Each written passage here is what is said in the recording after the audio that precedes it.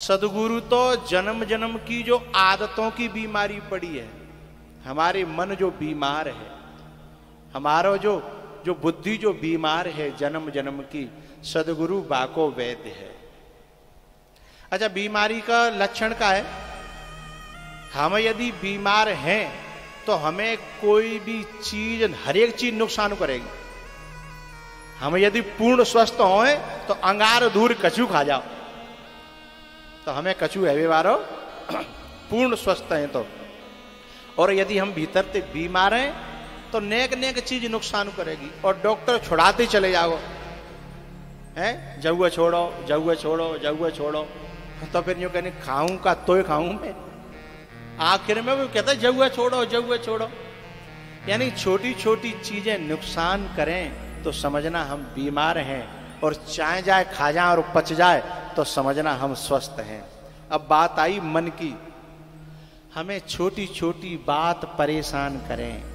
हमें छोटी छोटी बात संसार की बुरी लग जाए तो हम बीमार हैं।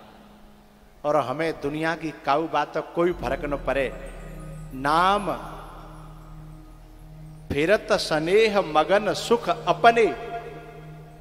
नाम प्रसाद सोच नहीं सपने। हमें काउ संसार की काउ परिस्थिति को कौआ को फ़र्क न पड़े। हम सबे पचा जाए, सबे झेल जाए। ऐसी क्षमता ही तो बुद्ध पुरुष प्रदान करता है ह्यूमिनिटी पावर बढ़ाता है। और जब मन कमज़ोर होता है, हमारे हम हम बीमार हो जाता है मन तो नेक बात पे, नेक कौन, कानावाती फुर करी ना नेक नेक बात पे हम बीमार है ना, इसलिए हमें जो कष्ट पहुँचाने वाला व्यक्ति है, वो हमें कष्ट पहुँचा करके सुखी होता है। तो वो समझता है कि मैं सफल हो गया, और तुम दुखी हो गए तो तुम असफल हो गए। तुमने, हमने अपना रिमोट दूसरे के हाथ में दे दिया ना। तो दूसरो चाहो तो सुखी करेगा, दूसरो चाहो तो दुखी कर देगा। लेकिन जाकी क्षमता जो है महापुरुष बढ़ाने के लिए हमें गुरु मंत्र देता है, हमें ग्रंथ देता है। और हम उसके वचनों का वचनामृत, चरणामृत पीते हैं अपने कानों से तो हम इतने पावरफुल हो जाते हैं, हमारा मन बीमारियों से दूर होता चला जाता है। और उस बीमारी से जब हम दूर होते हैं, जब हम स्वस्थ होते हैं तो फिर हमारे जन्म जन्मांतरों के जो बंधन थे, वो अपने आप उनसे हम मुक्त हो जाते हैं। तो शुरुआत करी थी, अब मैं समय की मर्यादा में प्रवचन जितना किया था उसको दोहरा करके, समेट करके सार बता रहा हूँ।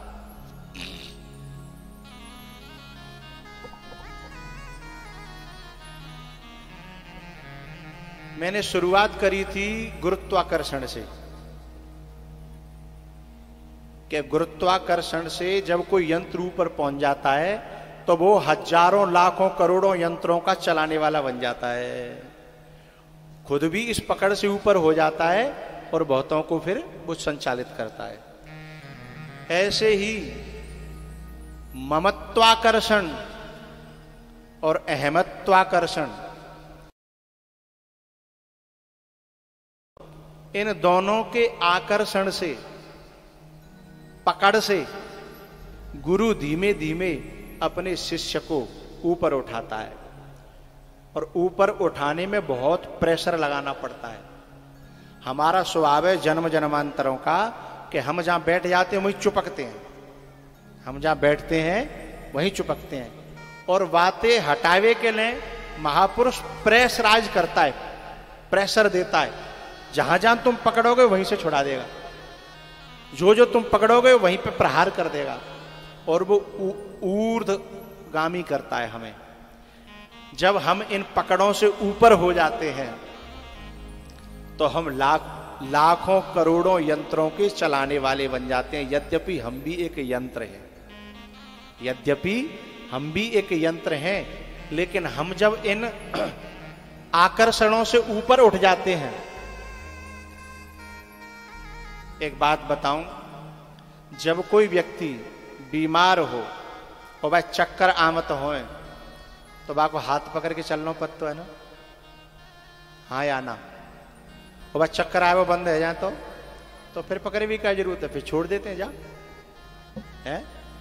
ऐसे ही महापुरुष अपने शिष्यों की बाह पकड़ के रखता है, जब तक, कब तक? जब तक वह चक्कर आ रहे। हैं चक्कर आएँगे तो गिरेगा। चक्कर का त्यामत है? जब वो चलने की कोशिश करता है जान इतनी है नहीं। जान इतनी है नहीं। तो चक्कर आएँगे और गिरे वो। अध्यात्म मार्ग में मार्ग में संसार को देख के चक्कर आ जाते हैं। नारद जी को विश्व मोहिनी को देख के चक्कर आ गया। संसार के अनेकों लोगों की बातों को सुनकर के चक्कर आ जाते हैं और वो गिर पड़ता है। उन चक्करों, उस चक्कर न आवे। इतना ताकतवर बनाने के बाद फिर महापुरुष बाह छोड़ के स्वतंत्र हो जाता है। तो तब तक ही महापुरुष को बाह पकड़ाने की ज़रूरत है। उसके बाद जानत तुम्हें तुम्हें हुए जाही। यदि महापुरुष तुम्हारी बाह पकड़ रहा है, हम, महापुरुष हमारी बाह पकड़े और हम उसके वचन पकड़े। तो इस जो चौपाई में जो शब्द था लोग कहते ना, हमें गुरुजी से तो बहुत लगाव है। हमें गुरुजी से बहुत प्रेम है। गुरुजी से तो बहुत प्रेम है तो लग रहा है ना ये बड़ा गड़बड़ है। क्या को मतलब कहूँ ना कहूँ, गड़बड़ी है। तो बोले तो क्यों लगा हुआ है? बोले, पर गुरुजी की कछु बातें हैं ना, वो हमें अच्छी ना लगा जब गोस्वामी जी ने लिखा तो इस बात का बड़ा ध्यान रखा। उन्होंने कहा कि सदगुरु वैद्य है, उसमें तुम्हें लगाव हो अटैचमेंट हो, प्रेम हो, अच्छी बात है, लेकिन बामे प्रेम नेकाद कम है जाए तो कोई बात नहीं। बामे तुम्हें अटैचमेंट नेकाद कम है जाए तो कोई बात नहीं। लेकिन विश्वास और अटैचमेंट गुरु से भी ज़्यादा गुरु के वचन में रखना। इसलिए चौपाई को समझना है। सदगुरु वेद। अब समझना बचन विश्वासा। क्योंकि वो बचन ही सदगुरु है। ध्यान मूलम, गुरु मूर्ति, पूजा मूलम, गुरु पदम, मंत्र मूलम, गुरोर वाक्यम वाक्यम माने वचनम समझ में आ रही है? और कोई एक वचन नहीं, प्रत्येक वचन। प्रत्येक वचन पे हमें दृढ़ विश्वास हो। एक बात और मुझे यहाँ कहनी है, जब कोई गुरु तुमसे कहे कि तुम ये काम कर लो, और वो काम तुम्हें लग रहे हो कि मेरी क्षमता ते बाहर है, और तुम्हारो मन आना कानी कर रहा हो, उसी समय मन को फटकारना। कहना, तू अपनी क्षमता पे ही करेगा जिन कामन ने। जब गुरु कह रहा है तो कौन कौन गुरु ने अपनी क्षमता दई होगी? तू चल के तो देख